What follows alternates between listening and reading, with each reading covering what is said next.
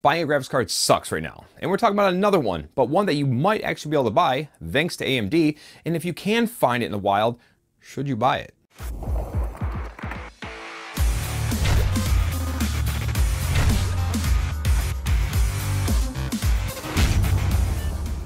What's up guys, my name is Juan and you're watching my channel Blueprint PC. So welcome and thank you for tuning in for one. We're talking about everybody's favorite topic in early 2021. That's graphics cards and how much it sucks to buy them. But actually today we're talking about one that might actually be available in the somewhat near future.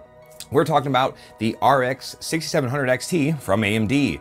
Now, AMD openly states that there's gonna be more of these available than the entire 6000 series launch so far, and that they're actually gonna slow roll and trickle these out over time instead of just dumping everything they got onto the market and then, you know, scalpers get them and then everybody's just SOL. So today, we're talking about the one that I was able to pick up. I went to my local micro center, and if you have one nearby, this is probably one of your best routes to buy a graphics card that's not completely overpriced. And you're gonna have to do what I did, get up early, get there before open, wait in line with everybody else out the front door, and then hope that by the time you get to the counter, there's something available. And at least for my local one, they seem to be doing pretty well and had stuff available. So I was able to pick up ASRock's entry-level variant, the Challenger D Gaming. Now, this is a slight tick over the reference design, and we're gonna talk about what makes this what it is and why it's special or not and talk about some pros and cons and all that fun stuff. So let's go ahead and let's open up and start talking about it. Well guys, we're not gonna do an unboxing in this video. Reason being, there's really not a lot to unbox. It's an instruction manual and some foam and the graphics card itself. So there she is, the ASRock RX 6700 XT Challenger D Gaming. Now, we're gonna do a deep dive, go through all the specs for this so that way you guys know what you're buying in case you have any questions. Hopefully that'll help you out through it. And in the end of, it, in the, end of the video, I'm gonna walk you through my perspective as to why I think is actually a decent purchase. Again, if you can find it near MSRP, even if there's other cards available. So let's go ahead, let's go through the rundown, and then we'll talk about a few things. The ASRock Challenger has a base clock of 2321 megahertz. Boost clock is 2581 megahertz with a game clock of 2424 megahertz. VRAM is handled by 12 gigabytes of GDDR6. Memory has a 192-bit interface bus with a bandwidth of 384 gigabytes per second. The GPU die itself consists of 40 compute units, which equates to 2560 stream processors and 40 ray accelerators. This is all pushed through PCIe Express Gen 4.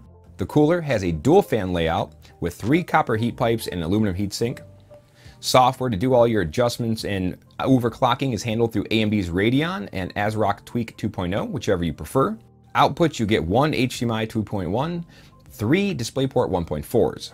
The dimensions are 10.59 inches long, 5.28 inches tall, and it takes up two slots for thickness. For power and thermals, the card will go up to 110C before it starts to downclock and really shut itself off for safety. It is rated at 230 watts, and remember that's prior to any overclocking.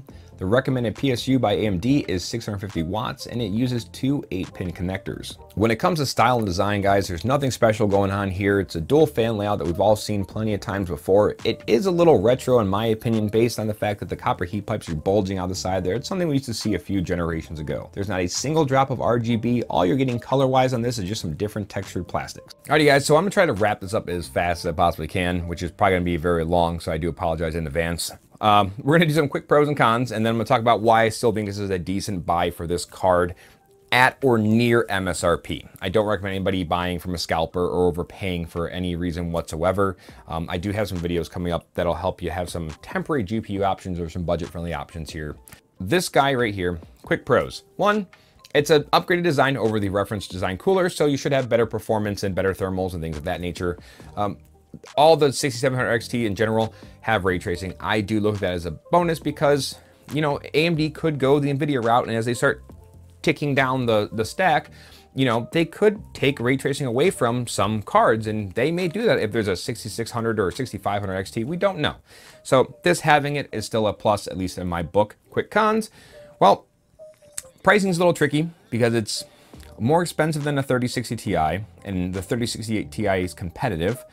It's cheaper than a 3070, but not by much, but performance kind of sits in a weird spot. It still does better than the 3060 in a lot of ways and does almost as good as the 3070 in a lot of ways. and it kind of fits in a weird little wedge right in there, and it's just kind of a, a weird experience. And everybody's saying, you know, well, buy the 3060 Ti. It's, it's, you know, it's just as good or close enough for the pricing, for a bigger discount price. Well, good luck finding one. And you know, that that's to each their own. And the 3060 pricing too, guys, remember, MSRP was dictated before the tariffs. So what we knew at MSRP before is gonna come up now. Regardless, the default pricing of 400 bucks is gonna be increased. The other con that I have for this one is actually ray tracing. This is equivalent to NVIDIA's first generation try at ray tracing. And well, we all know with that, there's a big performance hit when you do use it. So my suggestion for that would be to use ray tracing when you're playing pretty games, you want to play single player or maybe just like a co-op type thing. If you're doing anything competitive, just turn it off and run normal routes from there. Don't try to, you know, get super crazy FPS with ray tracing on at least this card. Maybe 1080p get better results. But I also will do a benchmark video coming up here in the near future for this guy with some overclocking as well. So we'll take a look at that. Rounding all this out, um, the perspective I want you guys to understand this one is I'm trying to bring a little bit of light in the darkness. And I know everybody's just super angry and frustrated with GPUs right now. And if you can find this at or near MSRP, I do think it's a good buy, even with maybe some other options in play, depending on what the other options are, mind you. If you go back to previous generation, 5700 XT, 2080, 2080 Super, things like that. This outperforms all those. This is, I'd say, 5% better than a 2080 Super overall, and it has ray tracing.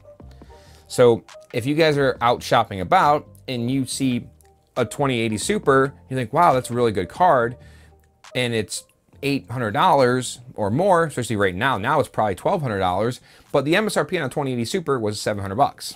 If you can buy a 2080 Super or equivalent class of card for 560 bucks, would you not likely jump on that? The other thing that people compare it to is the 5700 XT. And they're, you know, which is, this is accurate, this is true. You get about a 20% performance boost for 20% cost boost, which is no fun to everybody. It's a lateral move. Yes, it's more performance at more cost. The counter to that really is again, when you look at the class of card you're getting, it's a 2080 Super type classic card for 560 bucks, at least what I paid. Uh, ideally, 479 if you can find an MSRP.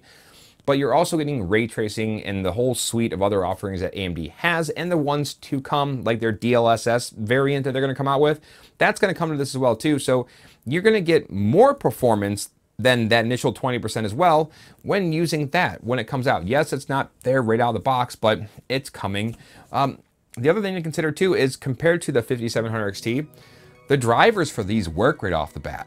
You can actually plug it in and use it and your game's not gonna crash 17 times, only like 14, but you know, these are more refined, so you're getting a better product overall straight out of the box compared to the 5700 XT.